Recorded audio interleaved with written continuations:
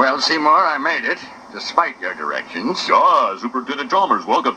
I hope you're prepared for an unforgettable luncheon. Yeah. Oh, ye gods! My roast is ruined.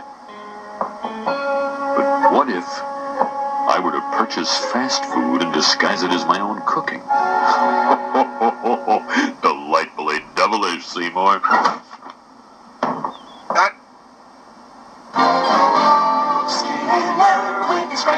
Explanations. The superintendent's gonna need his medication. When he hears Skinner's lame exaggerations, there'll be trouble in town tonight.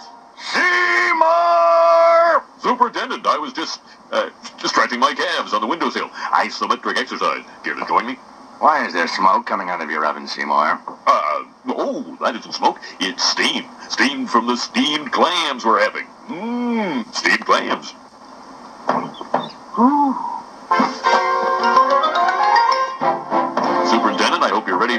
mouth-watering hamburgers.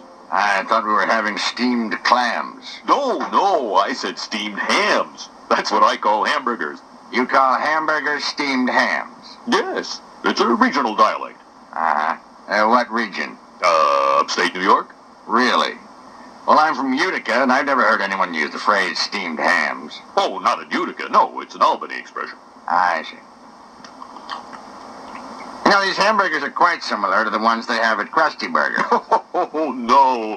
Patented Skinner Burgers. Old family recipe. For steamed hams. Yes. Yes, and you call them steamed hams despite the fact they are obviously grilled. Uh, You know, the, one thing I Excuse me for one second. Of course. Oh, well, that was wonderful. Good time was had by all. I'm pooped. Yes, I should be. Good Lord, what is happening in there? Aurora Borealis? Uh, Aurora Borealis. At this time of year, at this time of day, in this part of the country, localized entirely within your kitchen. Yes. May I see it? No.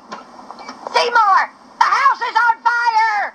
No, Mother, it's just the Northern Lights. Well, Seymour, you are an odd fellow, but I must say, you steam a good ham.